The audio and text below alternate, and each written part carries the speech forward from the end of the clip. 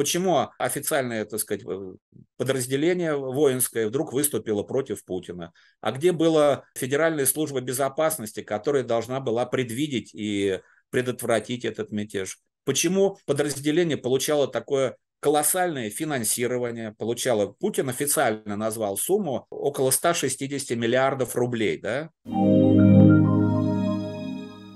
События, э, по-моему, начались все-таки в пятницу, да, уже в пятницу. И в субботу они вот э, приобрели такой, как бы сказать, накал, свою, своего пика э, достигли. Э, в то время, в субботу и воскресенье, и в Москве, и в, в, в, в городах Подмосковья а, во многих городах были выставлены усиленные милицейские патрули, стояли вооруженные люди, Росгвардия, милиция, были перекрыты некоторые дороги, проводилась там проверка документов. Я лично в это время находился на э, даче. Но для меня а, возник очень большой вопрос. Дело в том, что на понедельник, на 26 июня, у меня была намечена встреча а, с китайскими студентами, с китайскими студентами, которые закончили обучение на факультете журналистики в этом году. И они должны были приехать ко мне в гости. И я их ждал, я готовился, так сказать, я тоже там предпринимал определенные э, меры, и для меня было непонятно, а состоится или не состоится эта э, поездка, потому что им надо было ехать из Москвы э, до того места, в котором я находился, это примерно 120 километров, и мне было бы очень жалко, если бы поездка китайских студентов ко мне бы сорвалась. Ну, например, много моих знакомых, моих э, товарищей, и в том числе родственников, моей дочери, э, моя внучка, они находились в Москве. Я попытаюсь вам сейчас сказать свое мнение или мнение тех людей, которые в то время находились в Москве, да. и тех москвичей, которые находились за пределами Москвы, ну, скажем так, э, на расстоянии 100-120 километрах от Москвы на своих дачах, на своих дачах. Я бы э, э, охарактеризовал настроение и эмоции людей в данном случае, ну, тремя словами. Первое слово – удивление. Удивление, потому что действительно эти события являлись экстраординарными. И Никто не понимал, э, как же могло, произо... как же могло произойти так, что э, вооруженная группа вооруженных людей, которая, собственно, являлась частью вооруженных сил, э, которая ведет боевые действия на Украине, вдруг стала двигаться в сторону Москвы. Это было крайне необычно. Ну, второе, вторая эмоция – это эмоция, конечно, любопытства потому что было очень мало информации а, в первые часы, когда мы получили сообщение, когда было по а, официальным каналам распространено сообщение о том, что происходят такие события, люди, естественно, испытали любопытство. А что же это такое? Почему так произошло? И что будет дальше? Это вот э, такая эмоция любопытства, что абсолютно естественно для Э, нормальных людей. Третья, конечно, эмоция э, – это тревога, потому что я думаю, что вы со мной согласитесь, состояние э, неопределенности, состояние предчувствия какой-то надвигающейся опасности, причем непонятно какой опасности, но ясно, что это реальная опасность. Особенно стало, особенно э, реальной эта опасность стала после того, как на следующее утро в 10 часов выступил президент Путин, который прямо заявил о том, что происходит. Кратко, но вот. Поэтому третья эмоция – это было слово «тревога». Тревога. Э, люди же были, э, например, в эти, в эти дни э, были намечено, было намечено проведение выпускных вечеров, выпускных балов в средних школах, да, то есть ученики средних школ, которые заканчивают обучение, обычно в эти дни, там, в субботу, воскресенье, торжественные балы, на которых их поздравляют с окончанием школы. Э, к этим мероприятиям они готовились э, давно, в течение года, а можно сказать и в течение всего периода обучения в средней школе. И вдруг все это оказывается под угрозой. Э, конечно, это вызывает определенную тревогу. Хотя если говорить о нашей молодежи, о российской молодежи, ну, в данном случае московской молодежи, как мне представляется, те люди, с которыми, ребята молодые, с которыми я разговаривал, они не придали особого значения э, это, этим, э, вот в начале этим событиям. То есть они отнеслись к ним спокойно. Им было неприятно, когда э, на следующий день мэр Москвы объявил 26 июня, это был понедельник, нерабочим днем. То есть и отменил, отменил в субботу-воскресенье все эти мероприятия. То есть все эти мероприятия были отменены. Это было неприятно. Ну вот. Но особого испуга и страха как бы никто особо не испытывал. Ну вот. Взрослые люди, да, ну тоже, взрослые люди тоже разные категории. Есть э, очень богатые люди, есть э, чиновники высокопоставленные. Часть из них почему-то сочла возможным а, вылететь из столицы, да, и сейчас этот вопрос служит предметом отдельного разбирательства в Государственной Думе, почему в этот опасный момент государственные чиновники покинули а, Москву. Понимаете, вот эти события, да, которые случились, они по большому счету не очень интересуют российских, российское общество. Просто по одной причине. А, ну, они интересуют, конечно, политиков, политологов, вот, э, журналистов, которые комментируют и которые зарабатывают на этом, так сказать, свои деньги, да, на этом. А обычных людей, на мой взгляд, э, это не очень сильно интересует по самым разным причинам. Одна из них люди просто устали, понимаете? Люди очень устали от этих неприятных событий. Э, больше года в стране идет война. Да? Это неприятное событие само по себе. И люди испытывают просто эмоциональную усталость от этого. И здесь дополнительное событие – которое еще усиливает это негативное ощущение. Поэтому люди как-то инстинктивно, большинство, да, особенно молодежь, я бы сказал, они как бы отталкиваются от этого события. Ну, там что-то происходит, э, ну, как бы не мое дело, да, пока, пока его не затрагивает это событие. Но в то время, в субботу, еще никто не знал, что будет в воскресенье и что будет в понедельник. До выступления э, Владимира Путина, президента Российской Федерации, то есть до 10 э, часов 24 э, июня, по-моему, он выступил, да, на следующий день. Вот до этого э, сообщений было крайне мало, да, крайне мало, и какой-либо четкой позиции о том, что же происходит и к чему это может привести, официальные СМИ не высказывали, да, были очень скупые.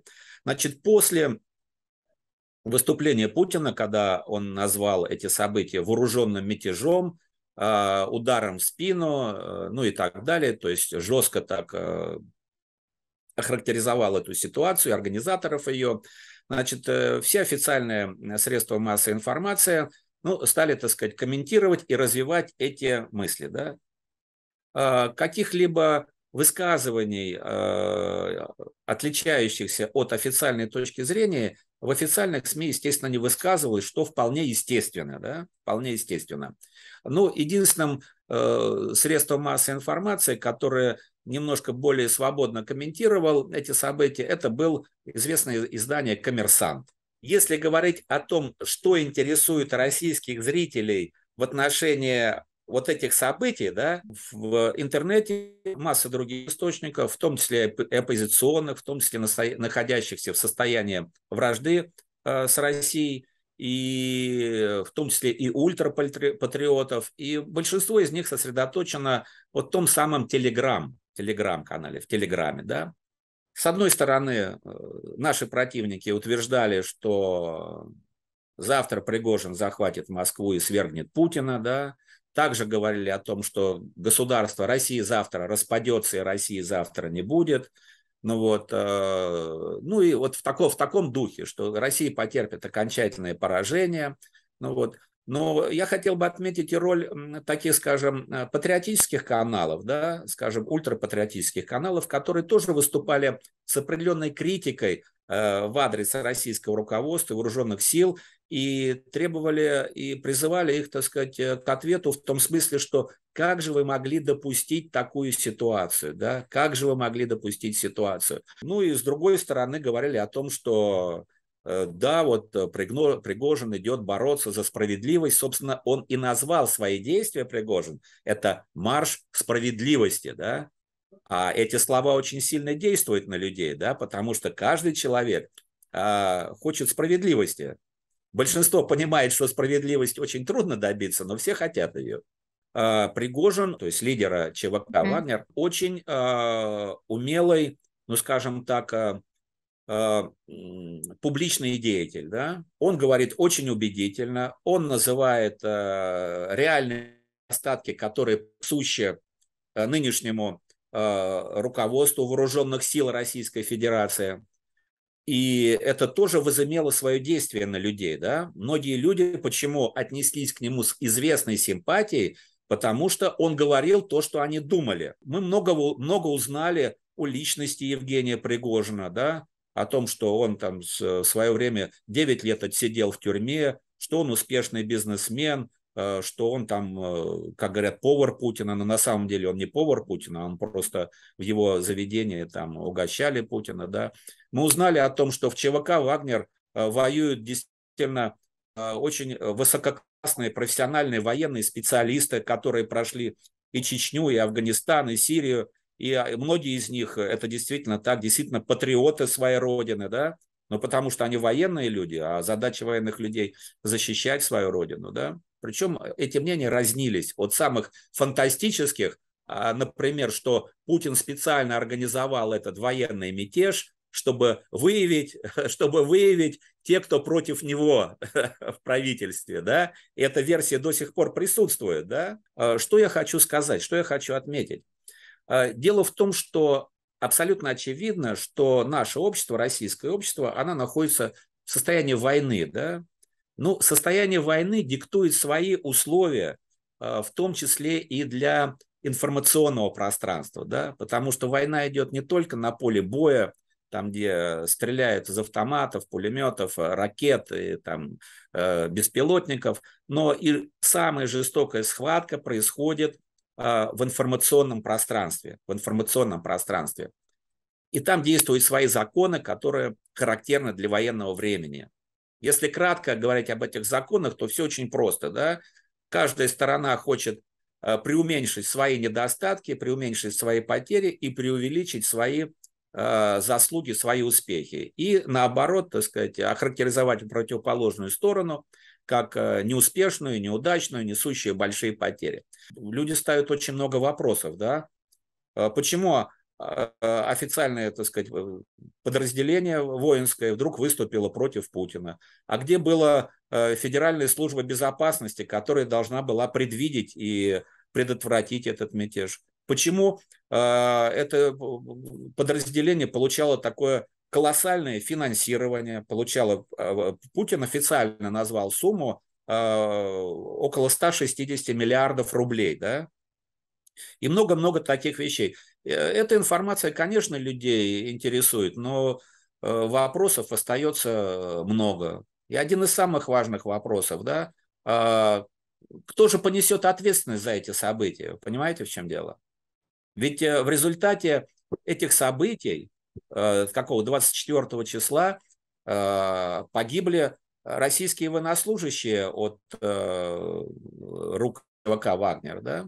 Летчики, элита вооруженных сил, был сбит военный самолет, этот пункт наблюдения, пункт, командный пункт подвижный, и вертолеты.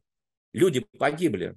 Это, это около 16 человек. То есть их убили, кто понесет за это ответственность?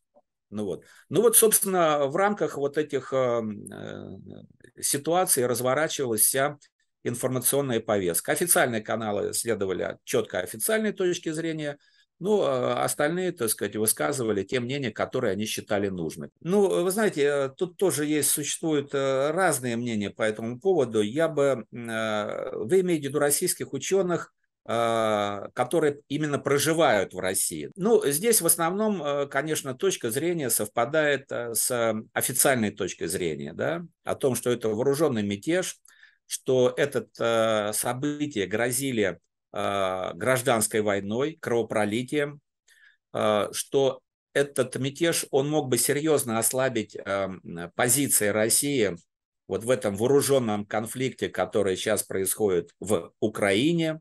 То есть как бы большинство ученых, большинство экспертов, безусловно, поддерживают официальную позицию, официальную точку зрения. В то же время, в то же время сложившаяся ситуация не оставляет выбора нам, и многие из этих специалистов высказывают достаточно критические точки зрения в разной форме. В прямой критической форме говорят, что вот это не так, это неправильно, управление потеряно, значит, здесь коррупция, а, здесь э, недоработали и ситуация создалась. А, многие выступают э, с конкретными предложениями о том, что же надо сделать для того, чтобы в будущем избежать этой э, ситуации. Но э, вопрос, э, как всегда, э, как всегда, заключается в том, что хороших идей и хороших предложений, как всегда, очень много. Но будут ли они реализованы, вот в этом большой вопрос.